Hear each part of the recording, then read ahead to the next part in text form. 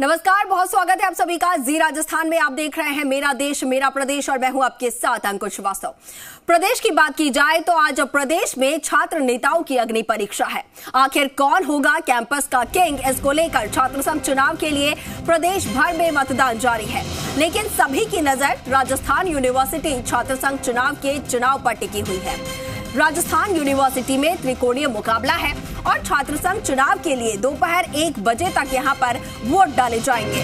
तमाम तस्वीरें आप तक पहुँचा रहे हैं, तमाम अपडेट हम आप तक पहुँचा रहे हैं और ये तस्वीरें आपके सामने है। प्रदेश भर के कॉलेजों से, यूनिवर्सिटी से हर एक अपडेट, हर एक पल पल की तस्वीरें आप तक हम पहुँचा रहे हैं।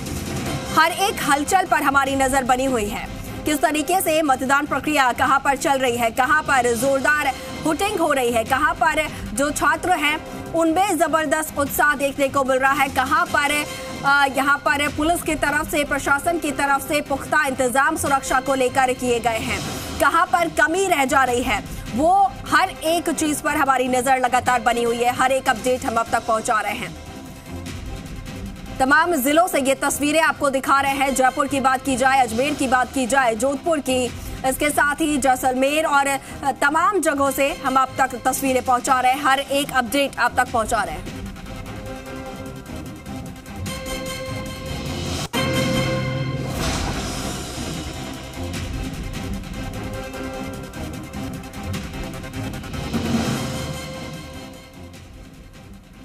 और चलिए, हमारे साथ आशुतोष लाइव जुड़ गए हैं, उनका रुख कर लेते हैं। आशुतोष, आप इस वक्त कहाँ पर मौजूद हैं और किस तरीके की वहाँ पर तस्वीरें, माहौल देखने को मिल रही हैं?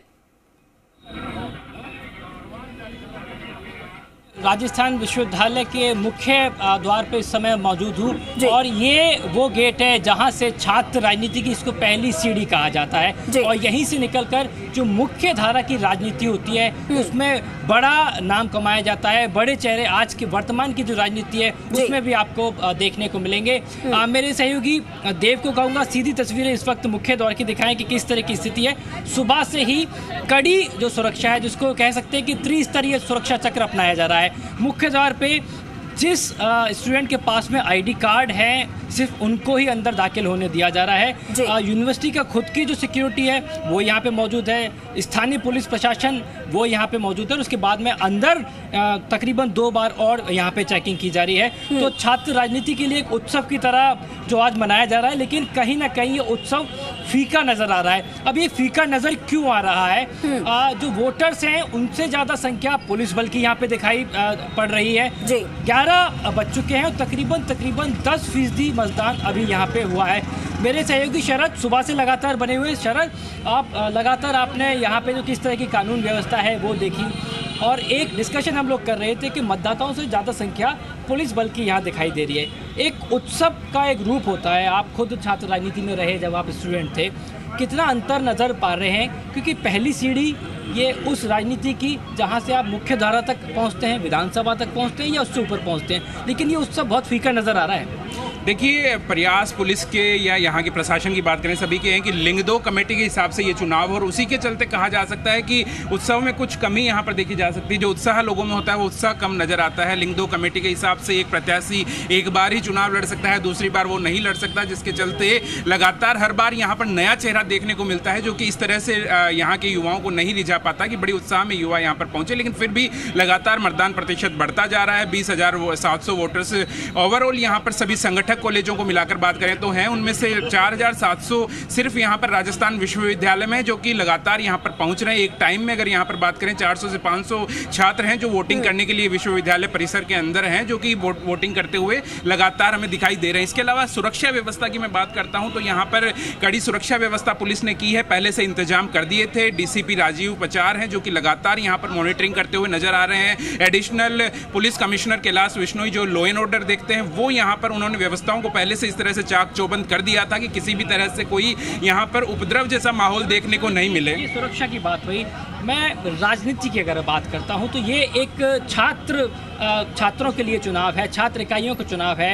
एन की बात करें ए की बात करें या निर्दलीय उम्मीदवारों की बात करें, ये महज छात्र इकाइयाँ हैं, लेकिन जो मुख्य धारा की पार्टी हैं, वो कांग्रेस हो या भाजपा हो या अन्य पार्टी हो, उनकी नज़र पूरी तरीके से इस चुनाव पर बनी रहती है। तो कितना ज़्यादा दखलंदाजी या कितना ज़्यादा इंटरेस्ट इस चुनाव के अंदर रहता है मुख्य पार्टी का? निश्चित तौर पर जो भी पार्टी यहाँ पर रहती है पॉलिटिक्स के अंदर, जो चुनाव जीतती है, उसका यहाँ पर कहीं ना कहीं ये रहता है कि छात्र संघ चुनाव राजस्थान विश्वविद्यालय में कोई जीते तो उन्हीं की पार्टी से जो उनकी छात्र पार्टी है, उससे कोई जीते। एनएसयूआई कांग्रेस लगातार ये चाहती है कि एनएसयूआई का कोई प्रतिनिधि हो, जो यहाँ पर चुनाव जीत कर आए बीजेपी लगातार ये कोशिश करती है कि एबीवीपी का कोई प्रतिनिधि चुनाव जीत कर आए, और इसके लिए लगातार पहले बैठकें भी होती रही है। मीटिंगे, मीटिंगों का दौर चलता रहा है पिछले कुछ दिनों से, और उनके जो लोग हैं, वो बाहर से लोगों को इस तरह से प्रेसराइज करते रहते हैं कि उनको बच्चे यहाँ पर आए, मतदान करें, मतदान का प्रतिशत बढ़ाए, जिससे कि उनके पार्टी के लोग यहाँ पर जीत सके। एनएसयूआई की बात करें, कई तरह की बगावत यहाँ पर नज़र आई, जिस तरह से निर्मल का देखा जा रहा है कि उसको भी कांग्रेस के ही कुछ विधायक हैं जो सपोर्ट करते हुए नज़र आ रहे हैं। एनएसयूआई की ओर से जो टिकट जारी की गई है, वो यहाँ पर प्रतिनिधि नज़र आता है। उसके साथ में और निर्दलीय प्रत्याशी हैं जो कि यहाँ पर एनएसयूआई से बगावत करके यहाँ पर नज़र आ रहे हैं, जिनको कांग्रेस पार्टी के ही अलग अलग विधायक और मंत्री हैं, वो सपोर्ट करते करते हुए नज़र आते हैं। का बयान सामने आया मैं यहाँ नाम नहीं लूँगा उसने कहा कि मुझे दुख है कि वो एक मंत्री की बेटी है। ये बयान सामने निकल के आया कि ये बयान इसलिए था कि उनको इमोशनल तरीके से वोट मिल सके चलिए ठीक है ठीक है। आशुतोष आपके पास आप फिर से लौटूँगी। कोटा का रुक कर रहे हो हिमांशु मित्तल हमारे साथ लगातार जुड़े हुए हैं। हिमांशु किस तरीके की तस्वीरें वहाँ से देखने को मिल रही हैं? देखिए अंकुर ये तस्वीरें आप देख सकते हैं। कोटा सेंट्रल जेल के बाहर की हैं राजकीय महाविद्यालय। जैसा कि हम सुबह से लगातार बता रहे हैं कि कोटा संभाग में सबसे ज़्यादा जो निगाहें होती हैं वो राजकीय महाविद्यालय के नतीजों पर होती हैं। राजकीय महाविद्यालय के छात्र संघ चुनाव में जो ज़ोर आजमाइश का दौर है वो सबसे ज़्यादा यही देखने को मिलता है। और फ़िलहाल ये तस्वीरें आप देख सकते हैं कि जो लिंगदो की सिफारिशें हैं उनकी जो दजियाँ हैं वो यहाँ पर उड़ती हुई नज़र आ रही है। किस तरह से जो पर्चे। हैं वो हवा में उछाले जा रहे हैं किस तरह से नियमों को यहाँ पर हवा किया जा रहा है। देख सकते हैं कि बड़े पैमाने पर छात्र प्रत्याशी जो हैं उनके समर्थक फ़िलहाल सड़कों पर हैं सड़कों पर बाइकों के ज़रिए स्टंट करते हुए नज़र आ रहे हैं। हालाँकि पुलिस का जो जाब्ता है वो बड़े पैमाने पर तैनात है। लगातार यहाँ पर जो बाइक्स हैं उन्हें जब्त करने का, का काम भी किया जा रहा है। बड़े पैमाने पर जो अधिकारी हैं जब भी आते हैं एक दो बार यहाँ पर हल्के से हंगामे की तस्वीरें भी देखने को मिली। पुलिस ने यहाँ पर हल्का बल प्रयोग करके छात्र जो समर्थक हैं प्रत्याशी समर्थक जो हैं उनको यहाँ पर खदेड़ा भी सरी।